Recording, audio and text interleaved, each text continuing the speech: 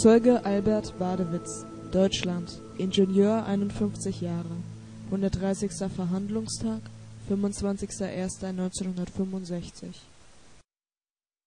damit einverstanden, dass wir Ihre Aussage auf ein Tonband nehmen zum Zweck der Stützung des Gedächtnisses des Gerichts. Herr Wadewitz, Sie waren als Häftling dort und wann sind Sie denn hingekommen? Ich kam von Mauthausen nach Auschwitz im Sommer. 1900? 1940.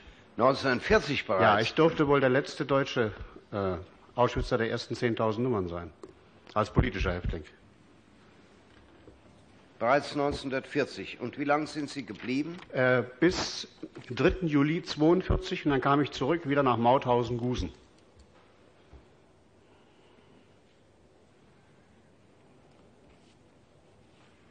Also sagen Sie mir bitte noch mal genau die Daten vom von August, August 40 1940 bis, bis Anfang Juli 42. Anfang Juli 42. Also knapp zwei Jahre. Ja. Und Sie waren ein politischer Häftling ja. und hatten dort einen roten Winkel. Ja. Ja. Wo waren Sie denn untergebracht in dieser Zeit? Ja, also als wir zuerst nach Auschwitz kamen, wurde ich merkwürdigerweise, ich weiß auch heute noch nicht warum, am selben Tag wieder zurückgebracht ins Polizeigefängnis Beuthen. Ich war mit einem Transport gekommen mit zwei Dachauer Kameraden. Wir waren aber in Zivil. Natürlich aber hatten wir keine Haare auf dem Kopf, die waren geschoren. Und äh, die zwei Dachauer sind, wie ich dann später erfuhr, sind gestorben und ich kam nochmal zurück ins Polizeigefängnis Beuthen und saß da ohne Vernehmung, ohne alles und kam erst im Dezember wieder nach Auschwitz. Und dort kam ich zunächst in den Block. Die Nummern haben sich ja nun leider geändert durch die Neubauten. Und zwar, wenn man vor der Küche steht, auf der die neun Meilensteine auf dem Dach zu sehen sind, links, also einer der 20er Blöcke. Mhm. Könnten also, Sie es uns hier an der Karte zeigen? Ja. Da, wenn Sie mal hingehen wollen. da hinten, nein, das ist Birkenau, da hinten ist Auschwitz. Ja,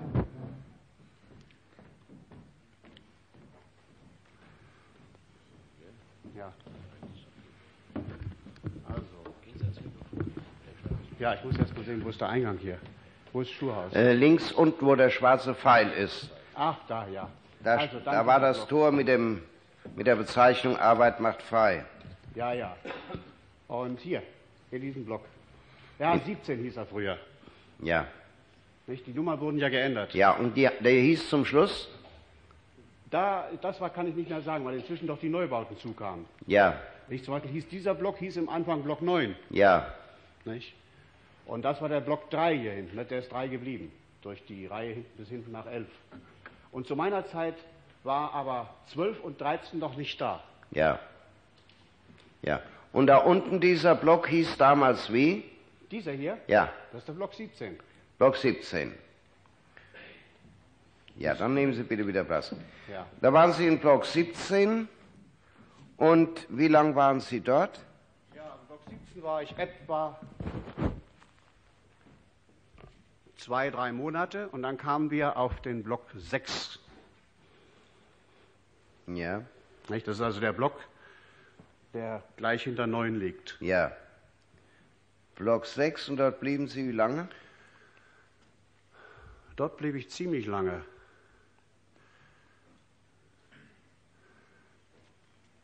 Mit einiger, ja, ich glaube bis, bis in, in den Winter hinein bis in den Winter ja. 41 auf 42. Ja. Und kam dann wohin? Auf irgendeinen der Neubaublocks, die auf dem Appellplatz errichtet wurden. Die Nummer weiß ich heute nicht mehr. Aha. Aber auch noch im Stammlager? Im Stammlager. Ich war nie in Birkenau. Nun, ähm, warum sind Sie eigentlich damals ähm, ins Konzentrationslager gekommen? Ja, mein Vater war ein Altliberal, alter Liberaler und äh, ich war in derselben Richtung. Ich war auch in der Schufo des Reichsbanners gewesen und das erklärt sich dann. Ich hatte auch schon 35 einen Zusammenstoß. Äh, Hatten Sie irgendwann eine Gerichtsverhandlung? Ja, 1935 äh, im Februar.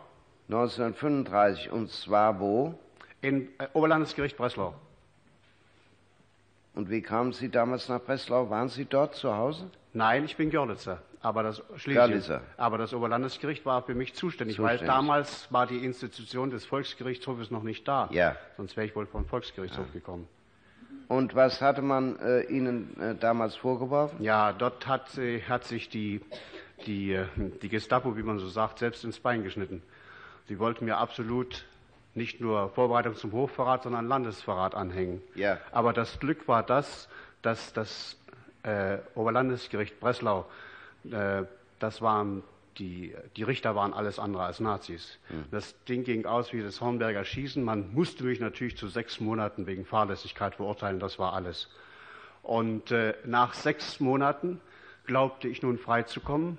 Aber äh, der Tag meiner Entlassung war ein Sonntag. Ich war schon in der Abgangszelle im Jugendgefängnis Kletschkau bei Breslau damals. Und äh, dann wurde ich zu dem Regierungsrat oder was er war, also dem Leiter der Strafanstalt geführt und ich bekam offiziell meine Fahrkarte und mein Geld und so weiter, meine Zivilsachen. Aber im Vorzimmer wartete schon die Gestapo und brachte mich, ich bin also von der Justiz formal entlassen worden und brachte mich gleich in das neu erbaute Polizeigefängnis Breslau. Dort lag ich wieder sechs Wochen und hörte und sah nichts. Die Polizei dort war nett, es waren keine Prügler. Und äh, der Polizeibeamte, der auf meiner Etage Dienst hatte, sagte mir, sagte ich, was wird denn nun werden? Ja, sagt er, die hier liegen, kommen meistenteils nach Sachsenhausen. Nun, ich hörte und sah nichts und eines Abends ähm, kam er um halb acht in meine Zelle und sagte, abziehen, Sachen mitnehmen. Da sah ich, wo komme ich hin? Da zuckte er die Achseln und sagte, aber es ist kein Gefängnistransport, der würde ja früh morgens gehen. Es ist ein Herr in Zivil da. Und ich komme in das Zimmer und da stellt sich mir der Sachverständige in meinem damaligen Prozess, das war ein Major mit Namen Schniewind, war aber in Zivil jetzt da und machte mir folgenden Vorschlag. Er sagte, ich möchte Ihnen folgenden Vorschlag machen. Sie sprechen sehr gut Englisch, auch gut Französisch und äh, Ihr Beruf, haben Sie nicht Lust, äh, Nachrichtenoffizier zu werden? Ne, was sollte ich nun tun? Tja, ich sagte zuerst mal wieder Ja und Nein. Ich sage, ich muss mir das überlegen. Und er sagt, das ist schon gut. Nimmt ebenfalls aus der Tasche raus schon ein Billett nach meiner Heimatstadt Görlitz, also 160 Kilometer, und gab mir noch einen 50-Markschein, war ja damals viel Geld, und ließ mich gehen. Sagt er, melden Sie sich bitte bei mir in 14 Tagen in der Carola Kaserne 11 in Breslau. Gut, was soll ich tun? Ich fuhr also erstmal auf den Bahnhof und habe mich erstmal anständig satt gegessen und setzte mich in Zug und fuhr nach Görlitz. Aber da war die Odyssee noch nicht zu Ende. In Görlitz komme ich an und wie ich durch die Sperre gehe, schon die Gestapo da und nimmt mich sofort in Empfang und steckt mich wieder ins Polizeigefängnis Görlitz. Da habe ich nun wieder sechs Wochen nichts gehört und nichts gesehen. Auf einmal wurde ich plötzlich rausgeholt, wurde zum Gestapo-Stellenleiter Weichert gebracht in der Augustastraße in Görlitz er sagte mir, äh, Sie verdammte Schweine haben sehr Glück gehabt. Sie fahren sofort nach Breslau und melden sich in der Elberkaserne. Also hat damals die Reichswehr, es war ja noch keine Wehrmacht, die Reichswehr über die Gestapo gesiegt gehabt. Ich bin nach Hause zu meinem Vater, der blind war, und habe gesagt, hör zu, Vater, entweder ich muss Offizier werden oder ich muss ins Lager. Ich will keins von beiden. Und äh, da bin ich wieder getürmt. Und zwar ins Saargebiet. Und äh, das Saargebiet war ja nun schon deutsch. Und jedenfalls habe ich mich verborgen gehalten, aber man hat mich natürlich doch, doch erwischt. Und zwar hat man mich wieder zurücktransportiert nach Görlitz, wieder in Polizeigefängnis. Aber ich bin nach acht Wochen entlassen worden mit der Auflage, mich beim Wehr Wehrbezirkskommando zu melden. Inzwischen war die Wehrpflicht da. Und dann hat man mich vorläufig in Ruhe gelassen. Bis zu meiner erneuten Verhaftung, also im, Februar, äh, im Sommer 39, als ich nach Mauthausen kam. Das ist also die Vorgeschichte. Mhm, mhm. Ja. Nun, Herr Badewitz, es ist hier behauptet worden, Sie seien im Konzentrationslager Auschwitz auch gewesen im Block 10. Ja, vielleicht darf ich das erklären. Ja. Ich war, ich war niemals, was man einen sogenannten Funktionshäftling nennt. Ja. Also ich saß praktisch zwischen allen Stühlen. Das heißt, den ersten Tritt, den ich bekam, bekam ich vom Lagerältesten 1 Brodniewicz, also einem Grünen, weil ich der erste Rote war, der erste mit roten Winkel. Ja, und zu den Polen hatte ich ja auch keinen Kontakt. Ich war also ganz heimatlos. Ich hatte keinerlei Unterstützung. Und ja, was wollte ich sagen? Ich spiele auf etwas Bestimmtes. Ja, wie Sie in Block 10 gekommen wären. Ach so, ja. Also ich war, zuerst war ich beim Ziegelräumkommando, also alle Kommandos, die es war. Ich war immer am Rande eines Muselmannes. Ich war noch nicht direkt Muselmann, aber nicht mehr weit davon entfernt. Und äh, so eines Morgens auch beim Arbeitskommandos formieren, das ist schwer, das hier so zu erklären, weil die Zeiten, die hier zur Sprache gekommen sind, ab 62, da möchte ich sagen, war Auschwitz schon, das ist auch ab nicht 42. Ab 42 ja. war Auschwitz schon, das ist nicht zynisch gemeint, normalisiert. Das heißt, da war die Selektion, die Chance, entweder sterben oder die Chance zum Überleben. Das gab es bei uns nicht. Wir hatten keinerlei Chance. Deswegen leben wir auch von den ersten Nummern nicht mehr viel. Und äh, eines Morgens auch beim Arbeitskommando formieren zum Beispiel stürzten sich die Kapos mit Knüppeln auf die Leute raus und formierten die Kommandos zusammen, die Restkommandos. Zum Beispiel wer Schuhe anhatte, wurde rausgezogen und so weiter. Und an diesem Morgen stand das Stehkommando. Ich muss das wohl erklären. Das Stehkommando ist also, abgesehen vom Holzhof, Muselmann-Kommando, dem ich auch angehörte, ist das Stehkommando das letzte. Das heißt, die sind so schwach, die führt man schon gar nicht mehr raus, weil man weiß, man müsste sonst alle reintragen. Das ist zu umständlich. Wir brauchten für die kurze Strecke bis zum Holzhof, brauchten wir, Sie werden es ja nun gesehen haben, die kurze Strecke brauchten wir fast eine Dreiviertelstunde. Das heißt, wenn wir beim Abendappell reinmarschierten, mussten wir schon eine Stunde vorher anfangen aufzustellen. Nun marschierten wir ja in Fünferreihen, des Zählens wegen am Tor. Immer 20 Fünferreihen ist eine Hundertschaft, damit das Zählen leichter war. Dann mussten also immer vier Häftlinge mussten einen Toten tragen, damit das wieder eine Fünfergruppe ergab, des Zählens wegen. Aber trotzdem dauerte der Marsch so lange, weil wieder von den Vieren, die nun ihrerseits einen Toten trugen, wieder welche zusammenfielen, mussten also vom hinteren Ende wieder vier kommen, um den nun Umgefallenen wieder zu tragen. Deswegen dauert das ja lange. Und an diesem Morgen kam ich nicht mehr zum, äh, zum Holzhofkommando und verdrückte mich, wie man das im Lager ja so macht, zum Stehkommando. Und das Stehkommando stand zwischen Block 9 und Block 10. Und das Stehkommando ist also als letztes, lässt man dann in der Dezemberkälte stehen und da ist eben abends, lebt ja nicht mehr viel. Beziehungsweise der Rest ist am nächsten Tag hin. Und jetzt muss ich etwas erwähnen, der Lagerälteste 2 war ein Grüner, wie üblich. Leo, der war aber kein Mörder, kein Totschläger. Und der kommt dort vorbei, sieht das und in einer Anwandlung von, von Großzügigkeit oder Mitleid schickt er uns in den Block 10. In ein Zimmer des Blocks 10. Und äh, die Scheiben nach dem Block, nach dem Zwischenblock 10 und 11, also wir sagten nicht schwarze Wand, sondern Skistand, zum Skistand zu waren Moiré bzw. Ornamentglas, waren also keinesfalls durchsichtig. Ich möchte das behaupten zum Zeitpunkt Ende November, Anfang Dezember 42. Wie es vorher war, weiß ich nicht. Nun, ich sage mal, man muss, glaube ich, mit peinlichster Akribie an diese Dinge herangehen. Jetzt habe ich mir selbst die Frage vorgestellt, ob eventuell ein Nebenzimmer, eine andere Stube, es waren ja immer vier Stuben, ob das nicht so verglast äh, gewesen wäre. Aber ich, das ist wohl mit an Sicherheit grenzender Wahrscheinlichkeit nicht anzunehmen, sonst hätten sich ja, hätte sich ja diese Maßnahme in unserem Raum selbst ad absurdum geführt. Naja, ähm, jedenfalls also in dem Zimmer, in dem Sie sich befunden haben. Das ja. war das erste Zimmer nach dem Eingang. Äh, das kann ich gar nicht mal sagen. Es war ein Zimmer. Ein Zimmer. Äh, etwa in der Mitte. Etwa in Und zwar, wir konnten äh, auch unten waren schon Blenden da, man konnte aber nichts erkennen, man konnte nur hören. Man hörte die, die, die, die Kleinkaliberschüsse und den Ausruf, die nächsten drei. Das war zu hören. Man konnte aber nicht erkennen, wer schoss. Ja. Ähm, das war im Parterre? Ja. Das, ich gab, war nur, das waren, damals waren die, die, war der Block 10 ein Parterre-Block. Diese Blocks sind alle erst später aufgestockt worden. Ja. Und äh, da war das Fenster geschlossen oder verschraubt? Der Fenster ja, natürlich vollkommen verschraubt. Das konnte kein Mensch öffnen. Konnte niemand öffnen? Nein. Und es waren vor dem Fenster auch noch äh, solche Blenden? Unten. Unten. Ja. ja. Später sind ja die Blenden dann ganz hochgezogen worden. Ja. Nun, äh, was hatten die Blenden für überhaupt für einen Sinn, wenn man A nicht durch das Fenster durchgucken konnte und B die Blenden nur unten waren? Die haben doch nur einen Sinn, wenn sie hochgezogen die sind. Die Frage ist berechtigt, ja. Ich glaube, man hat auch deshalb später die Blenden hochgezogen, weil ja mal eine Scheibe kaputt gehen konnte. Ja. Das ist die einzige Erklärung dafür. Also Sie konnten aus diesem Raum nichts sehen. Nein. Nun sagen Sie bitte, in diesem Block waren damals schon die Frauen untergebracht? Nein, nein, zu meiner Zeit nicht. Nicht. Das war 1942. 41. 41. 41, äh, Wende November zu Dezember. November, Dezember 41.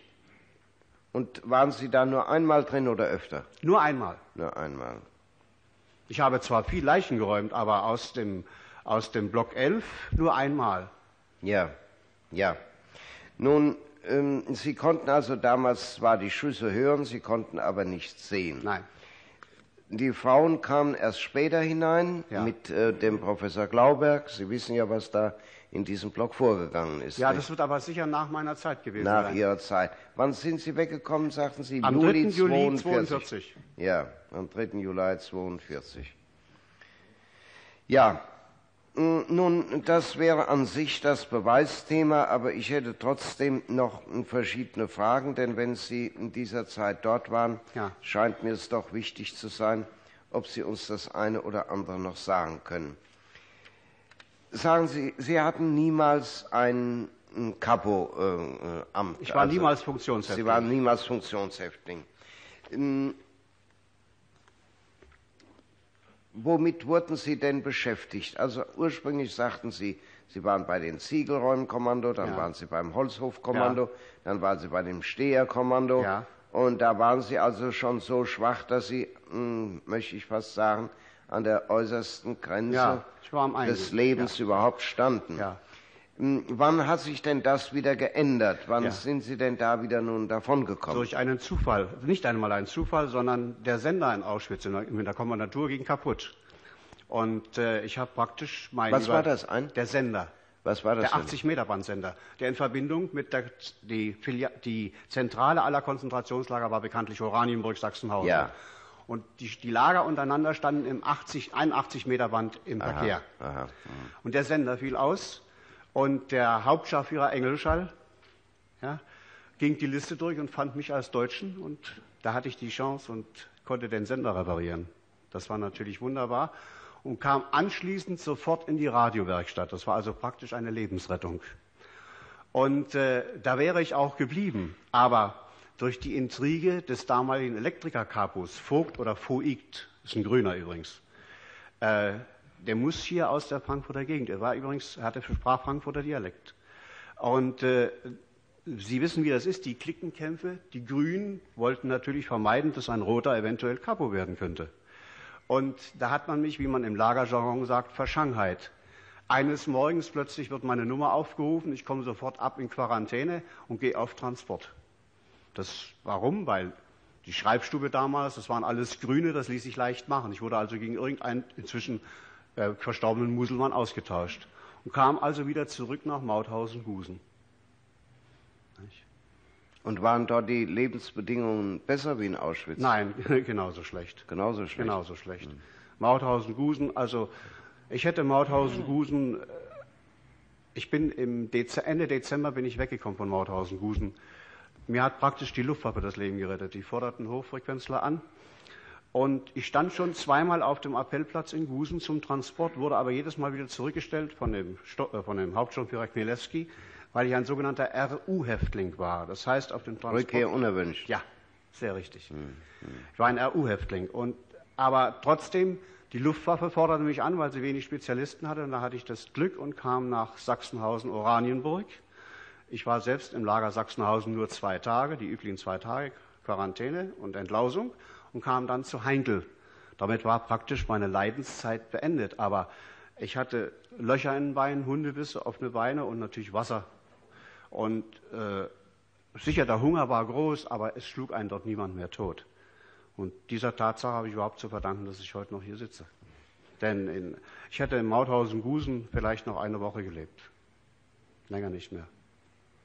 Nun sagen Sie mal, kennen Sie von diesen Angeklagten, die sich hier befinden, irgendwelche? Sie haben doch sicher die Namen ja. schon in der Zeitung gelesen. Äh, ja, ich weiß es natürlich. Ich habe nur, ich weiß nicht, ob das bekannt ist, inzwischen äh, nicht von diesen Angeklagten hier. Durch Zufall habe ich einen Massenmörder ausfindig gemacht, also einen Kumpan, das ist der Maximilian Pelz, genannt Tomix, der in den, im Komplex Sachsenhausen äh, ist gegen ihn ermittelt worden, aber es ist nichts Bedeutendes zutage gekommen. Ich kenne ihn aber als Massenmörder von Auschwitz. Und ich muss ehrlich sein, wenn ich nur den Namen Pelz allein gehört hätte, wüsste ich das heute auch nicht mehr. Aber sein Spitzname, Tomix, der mit durchging, das brachte mich natürlich in Erinnerung. Brachte mir in Erinnerung. Und ja, es ist immer ungeheuer schwer. Sehen Sie, die, ein Muselmann, ja, hat andere Sorgen, als sich um die Namen dieser Leute zu, küm zu ja. kümmern. Das ist das Schwierige heute, bei dieser Sache. Natürlich kennen wir vom Sehen die meisten. Inzwischen haben sie sich auch verändert. Sie haben ein Montpoint oder, oder nicht. Sie haben eine Glatze oder jedenfalls, sie haben sich derart verändert, dass, dass sie ihrem Bild von früher nicht mehr gleichen. Ja. Und es ist ja nun auch so, wenn irgendeiner etwas tat, sagen wir, der schlug ein oder sonst etwas, dann versuchte man als Muselmann so schnell wie möglich wegzukommen. Sonst und sich nicht lief man ja Gefahr, umzudrehen, wer das war. Ja. Ja, ja, das kann ich durchaus verstehen und äh nicht? Unsere Sorge war doch so groß. Ich weiß auf dem Holzhof, wir haben von, von, den, von den Muselmännern, die dort starben, wo wir wussten, die noch früh rausliefen, aber wir wussten, dass sie starben, haben wir, ich erkläre das hier ganz offen, und die schon nicht mehr essen konnten, noch ein Stück Brot mit der Schnur um den Hals hatten, haben wir von den Toten das Brot genommen. Das waren unsere Sorgen, aber nicht fest. Wir konnten nicht wissen, dass fast ein Vierteljahrhundert hinterher mal die Namen nun wichtig sind. Und ja, ich bin kompetent für Fritsche, Lagerführer Fritsche, Palitsch, äh, Arbeitsdienstführer Hössler und vor allen Dingen für den Sadisten Seidler, den ich dann später in Mauthausen-Gusen wieder getroffen habe. Obersturmführer Seidler. Und was hat der für Amt in Auschwitz? Der war Lagerführer 2. Lagerführer, Lagerführer 1 war Fritsche, Lagerführer 2 war Seidler. Hm. Und Karduk haben Sie dort nicht gekannt? Nein. Nein. Und Hofmann auch nicht. Das heißt, gekannt hat man sie alle. Nun müssen Sie bitte meine Situation verstehen. Ich war immer mit Polen zusammen. Ja. ja? Und äh, die Polen haben sich unterhalten. Ich spreche nicht Polnisch. Ich habe ein paar Brocken aufgeschnappt. Also habe ich, weiß ich auch zum Teil nicht, wer die Namen sind. Man kannte sie nur. Der Blockführer so oder der so. Nicht? Aber die Namen, das konnte man nicht wissen. Ja, ähm, Bednarek haben Sie auch nicht gesehen. Da ja, war nicht Bednarek der, der, der Blockälteste von Block 11? Der war äh, in Auschwitz 8a. Nein. Zu welcher Zeit? Ähm, das war, Moment. Das war ziemlich im Anfang, wie Bednarek dort war. Da gab es aber noch kein 8a. Von wann ab gab es den 8a? Also Bednarek war zunächst Blogschreiber Aha. und dann war er vom August etwa 1941 bis Anfang 1942 war er Blockältester in Block 8 oder 8a. Er behauptet in 8a. Herr Vorsitzender, es würde die Sache vereinfachen, wenn ich seine Nummer wüsste. Dann könnte ich in etwa sagen, wann. Ähm, weiß ich bitte. Ja, können Sie denn sagen, wie er aussah ungefähr? Nein. Aber wenn ich die Nummer wüsste, dann wüsste ja. ich auch das Datum. Hm. Ja, äh, ich möchte eigentlich doch, dass Sie mal die, sich die einzelnen Angeklagten ansehen, ob sie doch den einen oder anderen vielleicht wieder erkennen. Ich bitte doch die Angeklagten mal alle vorzutreten. Also selbe Zeit wie ich. Wo waren Sie zuerst? In welchem Block? Auf Block 3 und dann habe ich auf Block 7 Schreiber. Mein bitte Block 3. Der Block 3 also hinten. Ganz hinten, jawohl. Was waren Sie doch? Nur, war ich nur Schreiber. Schreiber. Aber, Aber sicher haben Sie, ich nehme also an, die richtige Annahme, dass Sie doch äh, sprechen Sie Polnisch.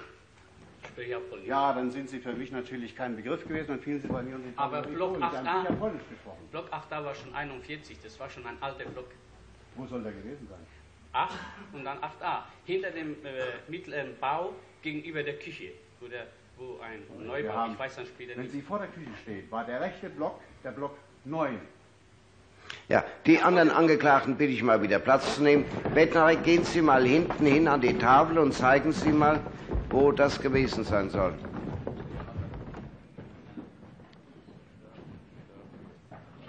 Ja.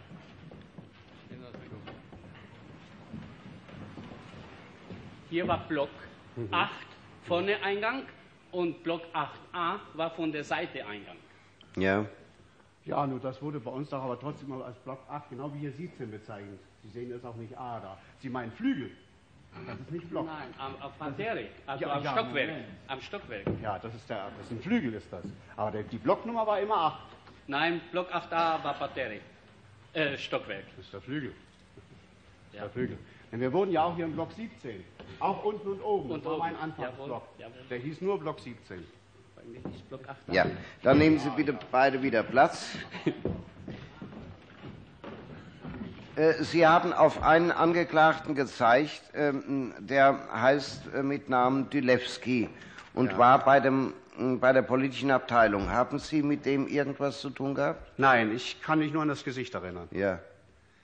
Ich war einmal bei der politischen Abteilung zur Vernehmung und äh, also völlig normale Vernehmung. Ich wurde weder gefoltert noch sonst Ja, etwas. ja. Äh, waren Sie auch einmal in dem Krankenbau? Äh, Nein, da haben wir einen großen Bogen drum gemacht. Ja. Waren Sie einmal in dem Bunker gesessen, im Arrest? Nein, Auch nein. nicht. Ich habe zwar am Pfahl gehangen und bin auch über den Bock gegangen, aber in Mauthausen, nicht in Auschwitz. Nicht in Auschwitz. Wie gesagt, ich bin eben mehr kompetent für die Zeit, also Fritsche nicht, und Palitsch, Hössler und vor allen Dingen äh, Seidler. Also ich kann da wenig Konkretes sagen. Ich sagte Ihnen ja, ich war äh, Jahre durch Muselmann und die einzige Sorge war, wenn man das hier so sagen muss, das Fressen, nicht, um zu überleben. Denn äh, ich wog niemals während meiner ganzen sechseinhalb Jahre Lager über 100 Pfund. Ja, ich äh, halte das für durchaus glaubhaft, Herr Zeuge. Es steht allerdings im Widerspruch zu manchen Zeugenaussagen, die hier aus dieser Zeit sehr konkretes Wissen gehabt haben, obwohl es ihnen gar nicht besser ging als Ihnen auch. Ja, aber jedenfalls zum Zeitpunkt November, Dezember war vom Block 10 aus niemals die Möglichkeit einer Einsicht zum Schießstand gegeben. Wir sagten Schießstand, nicht schwarze Wand. Ja, das war in dem Raum, wo Sie waren. Ja, nun ja, aber es ist doch wohl nicht anzunehmen, Ob dass es im ersten Stock anders war, das äh, aber da würden, wir Sie, würden, würden. Sie doch, würde sich doch die ganze Maßnahme als solche ad absurdum führen. Ich meine, wenn man ein Zimmer äh, verblendet, Hm. müsste man doch die anderen auch verblenden. Naja. Ja, dann sind keine Zeugen mehr an den Fra äh, keine Fragen mehr an den Zeugen von Seiten des Gerichts. Bitte. Die Häftlingsnummer, welche Häftlingsnummer hatten Sie? 1305. 1305. Sonst noch eine Frage, Herr Staatsanwalt? Herr Badewitz, Ja, aus Ihrem Lageraufenthalt ergibt sich, dass Sie während der Neubauten im Lager waren. Haben Sie eine Erinnerung noch daran? Ja, als auf dem Appellplatz neu baut. Ja, die meine ich. Ja, ja, Erinnerung welcher Art?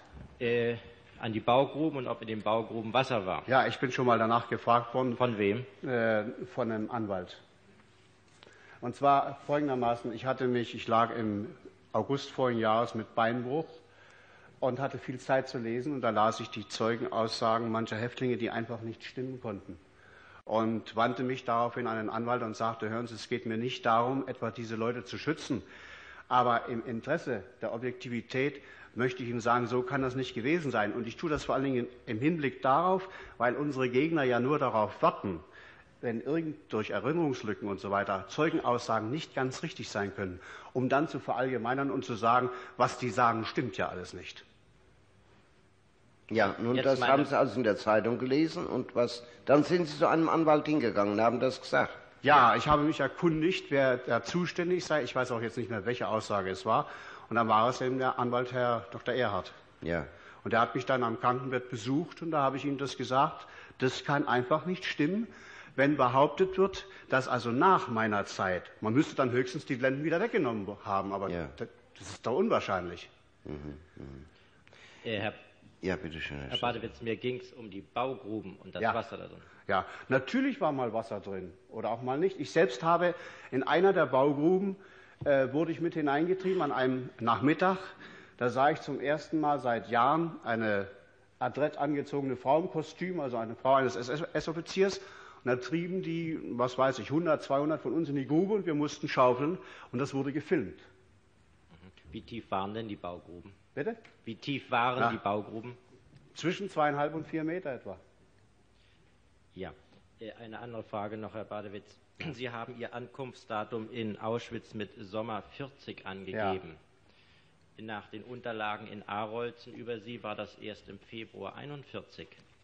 Nein, das stimmt nicht. Ich bin, wie ich schon sagte, nochmal zurück, wie ich eingangs erklärte, ins äh, Polizeigefängnis nach Beuthen zurückgekommen. Ich weiß heute noch nicht warum. Äh, Wie lange waren Sie in Beuthen? Bis Dezember. Bis Dezember 40, Das, hatte ich von mir. Dankeschön, weiter. Ja, mh, aber doch noch etwas Ja, mit den Baugruben.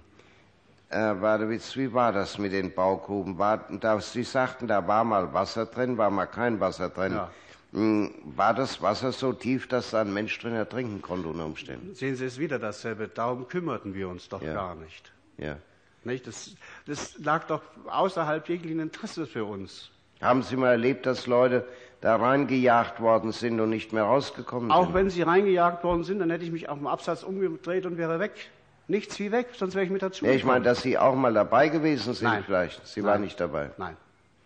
Und wie gesagt, und wenn ich das gesehen hätte, hätte ich mich so, sofort äh, weg, weg, nichts wie weg, sonst kommen Sie mit.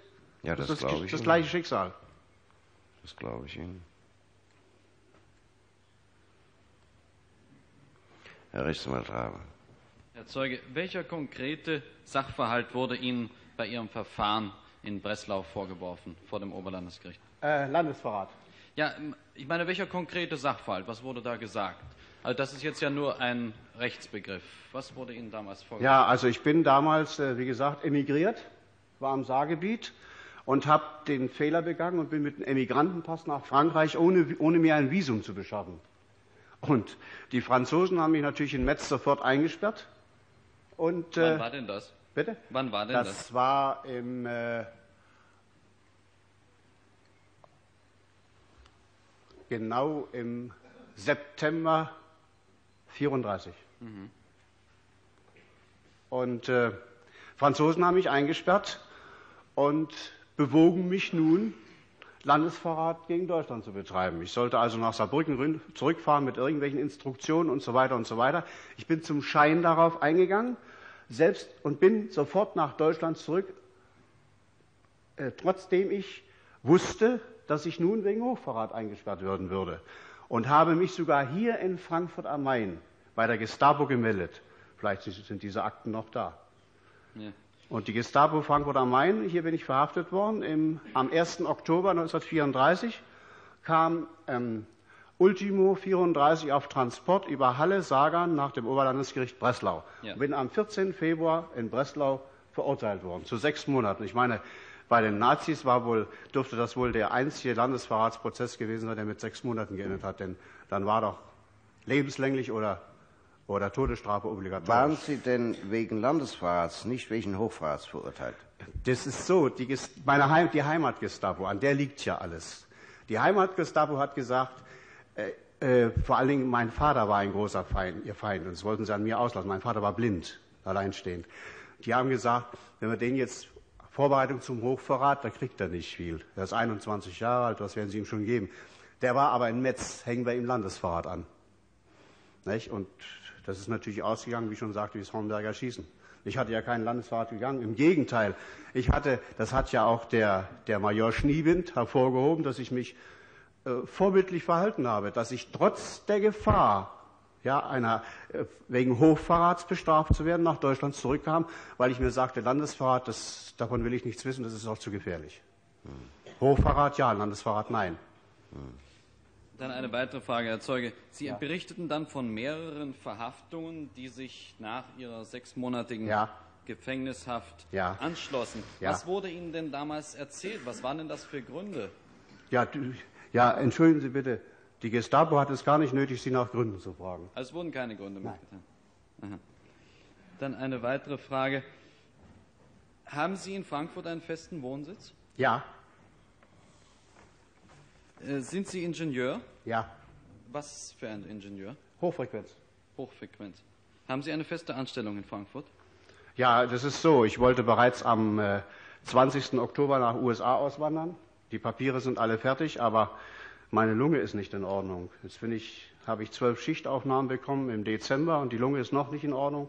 Und die nächsten Aufnahmen sollen im April stattfinden. Ja. Dann eine letzte Frage. Sind Sie außer wegen dieses Landesverrats sonst noch bestraft worden? Haben Sie weitere Ja, drei Geldstrafen habe ich gehabt. Da ist das Gewerbeamt Amok gelaufen. Sonst nicht. Nein, Danke. bitte. Also die Geldstrafen waren 30, 40 und 50 Mark. Von Seiten der Verteidigung. Herr Rechtsanwalt Erhard, keine Frage mehr. Herr Dr. Stolling II. Herr Zeuge, Sie sagten, wenn ich Sie recht verstanden habe, Sie hätten die Häftlingsnummer 1305 gehabt. Ja. Haben Sie die in Auschwitz bekommen? Ja, Äh, ist die irgendwie eintätowiert? bitte? Nein, der Reichsdeutsche durften überhaupt nicht tätowiert werden. Dann möchte ich Ihnen mal vorhalten, dass der Angeklagte Bettnerek, der zwei Monate vor Ihnen nach Auschwitz gekommen ist, die Häftlingsnummer 1325 hatte. Eintätowiert hat, ja? Eintätowiert? Nein, auch nicht eintätowiert. Ah, Aber er hat natürlich nicht. 1325. Bitte? Er hat 1325 nach seiner Einlassung. Ja, ich kann nicht verstehen. Ist er eintätowiert oder nicht? Nein, nein, nein, nein. nein. Ja, und wa- was, äh, was ist bitte mit der Frage? Ja, Sie sind doch im August gekommen, er ist im Juni gekommen. Ich nehme nicht an, dass die Nummern rückwärts gegeben worden sind. Ja, dann kann, ich, kann es auch Juli gewesen sein. Also so genau kann ich Kann es auch sein, dass Sie vor Juni hingekommen Nein, sind? nein, nein, nein, nein, nein, nein. Nein, kein Fall. Wie gesagt, ich wurde dann wieder zurück nach Beuthen gebracht. Sonst sind keine Fragen mehr zu stellen, auch von den Angeklagten nicht. Können Sie das, was Sie uns gesagt haben, mit gutem Gewissen beschließen?